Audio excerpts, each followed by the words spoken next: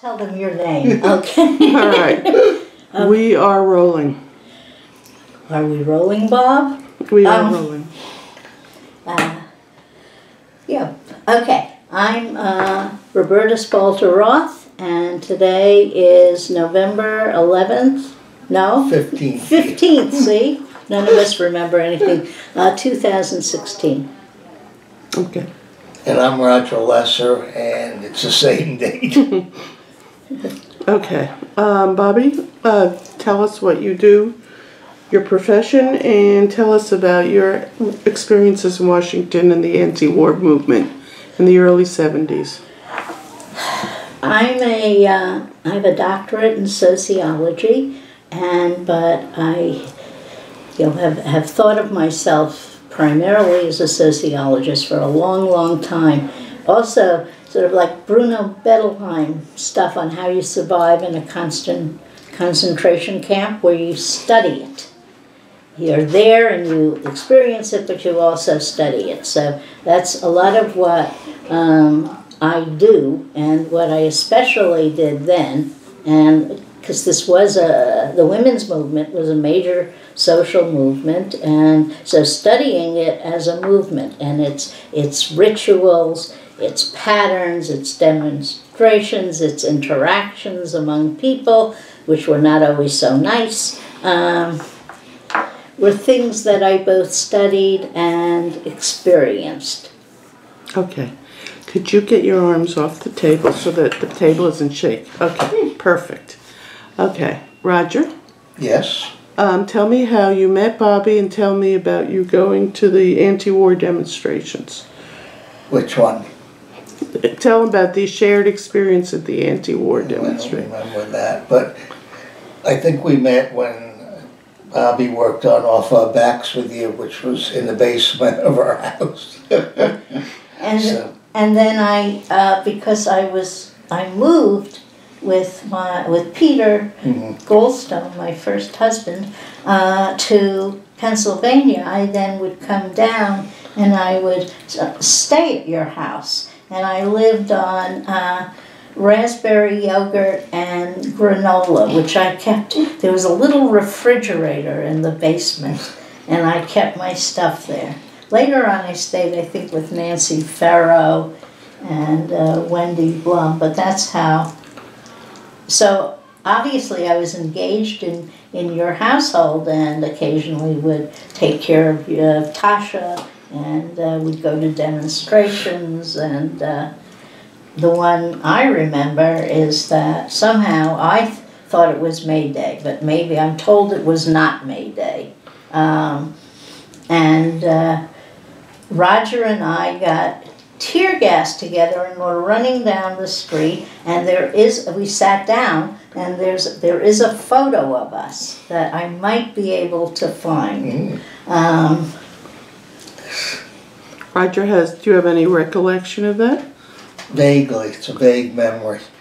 well, But I do know that from the time we moved here in June of 1968, where we thought we didn't know anybody here, and we were living on Capitol Hill, right near the Capitol, across from the Library Cong- of Congress Jefferson building. And I was working at the Par- Department of Health, Education, and Welfare, and would walk to work every day down the hill. And then we got involved, we were involved in every demonstration during that period, which there were a lot of them. And our daughter Natasha used to play on the Capitol grounds. We'd walk over there and she would play. And eventually we realized there were people we didn't know, Marilyn Webb, who was also involved in Off Our Backs. She lived in the next building from me when I went to graduate school at the University of Chicago and Norma then got involved with the women's movement, with consciousness raising groups, and with uh, Off Our Backs, one of the first and longest surviving women's feminist newspapers in the United States. But I don't remember that specific day. I do remember May Day very well because a friend of ours, Ellen Bravo, who started 9 to 5, was a professor at St. Mary's College and brought a whole lot of students to our house in uh, Washington, D.C. And our daughter, Natasha, who was then, how old was she? Was she two years old? Got very upset because our house was in chaos. So I was going to go out in the streets, but I decided not to because she was so upset.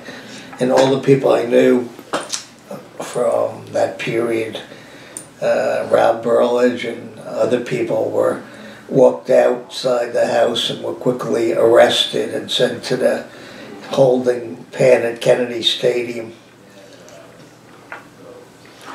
I also remember that, you know, I also sort of had some, when I lived, because I was commuting between um, Pennsylvania and DC, um, I remember having a, uh, the Black Panthers were holding some sort of Convention. of- event Yeah, and so we had huge numbers of people. I think we were still living in Blue Bell. And I have, in, in the notebook I gave, I, I have, you know, I have stories about, you know, who did the cooking and, you know, what we ate. And, uh, because you had to have a big pot of soup. Oh, I was very into making stock at that point. And so I always had stock to make soup and muffins. And so that was my, my demonstration hostess repertoire. And I was at that too. It was the, I had been to the Philadelphia convention and the Black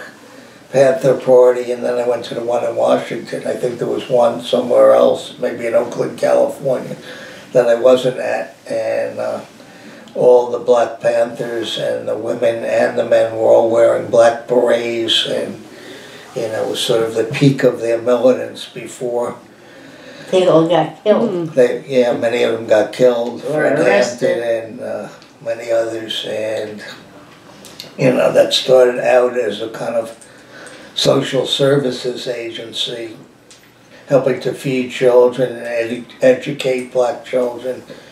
But they became more and more militant, and uh, a lot of them were carrying guns in those days.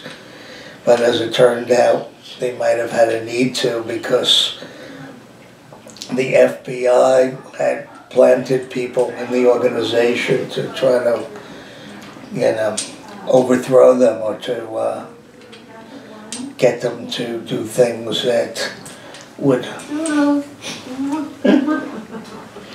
that would uh, enable the FBI and the Justice Department to indict them. I remember we had this diary, this documents from some woman who went underground At off our backs? in your house. We had Joanne, I can't remember her name. She went underground. We had this this journal of hers. And so of course we were all sure we were gonna get invaded by the FBI. So we used to meet in a room in your house which had no windows. And we would talk about, forget what we called it. We couldn't call it the journal. We mm-hmm. had sort of a code mm-hmm. name for it that we would Do you remember that? No, but I do remember that at one point I was out of town and the FBI came to our house looking for Cathy Wilkerson, who I really didn't mm-hmm. know.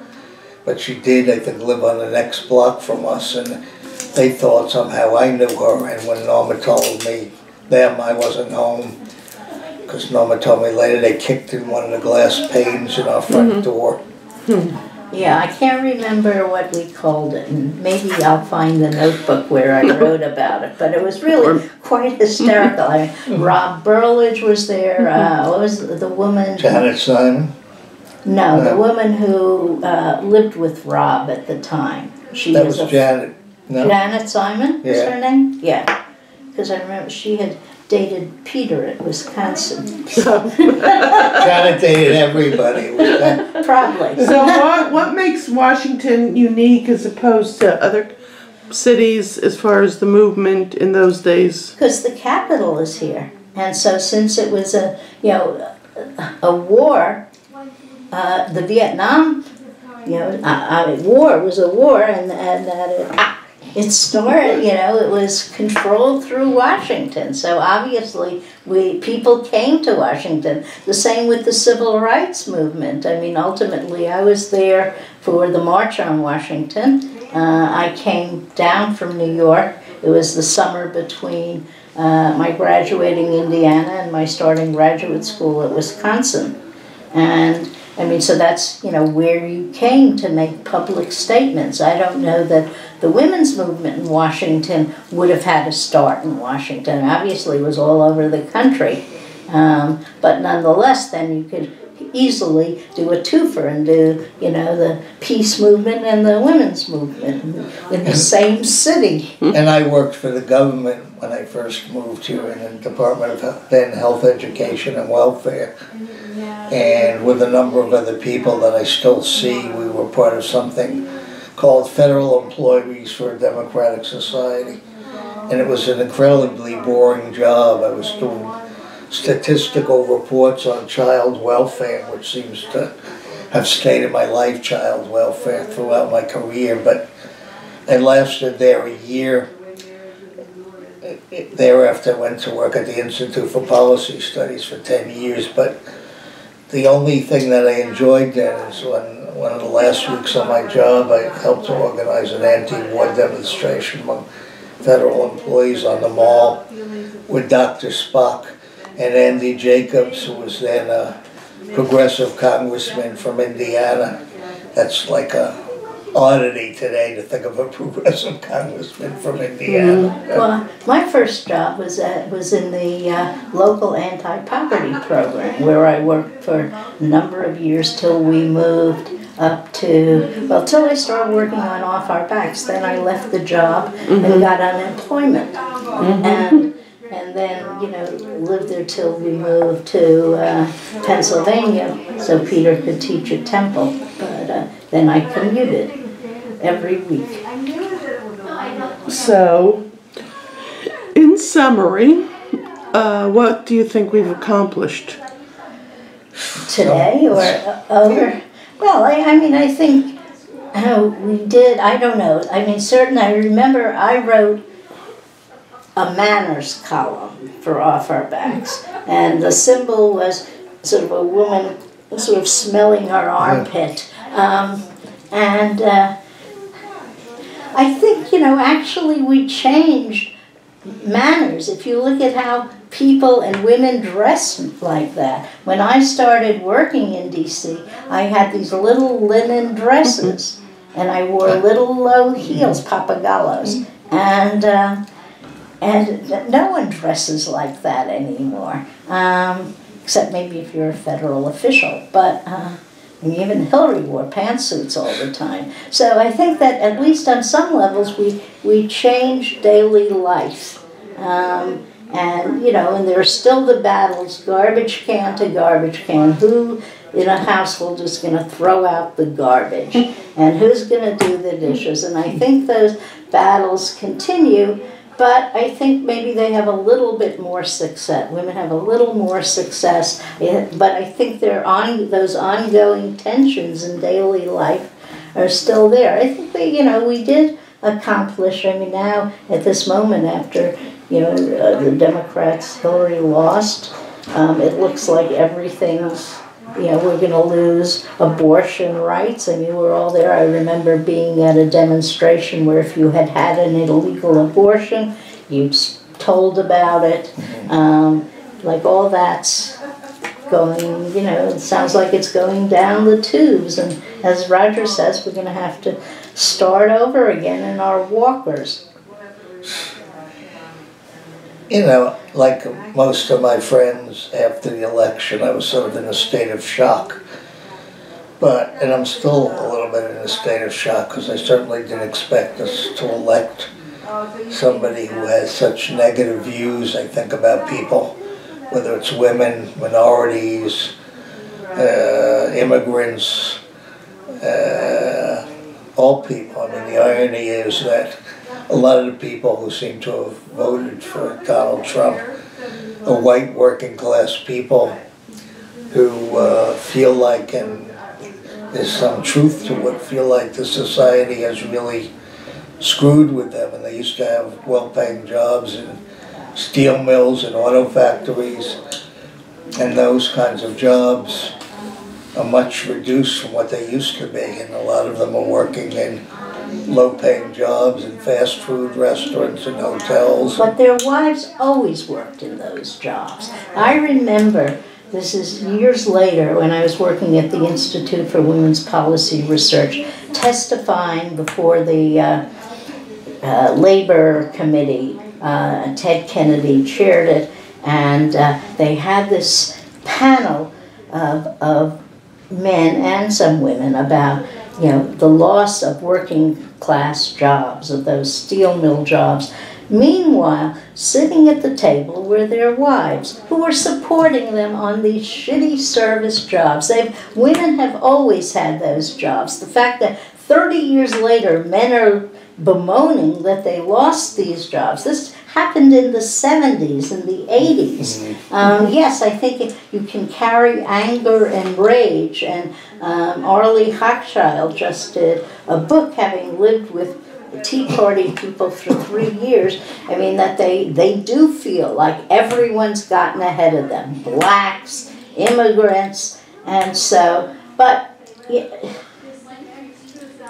but in, in ways, I mean, their views, I sympathize with not having a decent job. I think if Trump can bring about decent jobs, that's fabulous. But it's really interesting to me that the wives of these men have always had crappy jobs mm-hmm. and uh, only got into these jobs, the jobs that their husbands have, when they started really moving them offshore. And it's still interesting to me that it, it probably the case that many of these people think that Trump will curtail the banks. Meanwhile, he's getting rid of Dodd Frank. Um, so I don't know. I mean, you have to look at social movements that it's not like they make change and then that's it. Things go back and forth and back and forth, and I hope uh, it'll happen again that we'll sort of get back into some kind of power. And with all of my uh, kind of despair about what just happened in another way.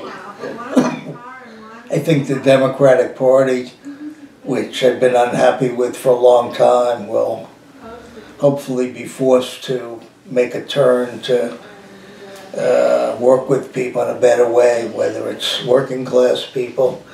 I mean, I couldn't believe that Hillary Clinton lost in Michigan and in Wisconsin and in Pennsylvania and lost a lot of votes from people even who had supported Barack Obama in 2008 and 2012.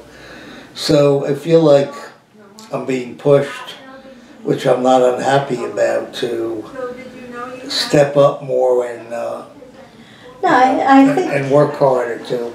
I think in many ways those were you know, very happy days. I mean, even though, you know, I was getting gassed and I went to all these demonstrations and, uh, you know, uh, hardly had a lavish lifestyle. Um, in fact, um, there was a lot of positive stuff. Yeah, I agree with that too. Although off our backs was often the seat of great struggles. okay, thank you very much. End of interview.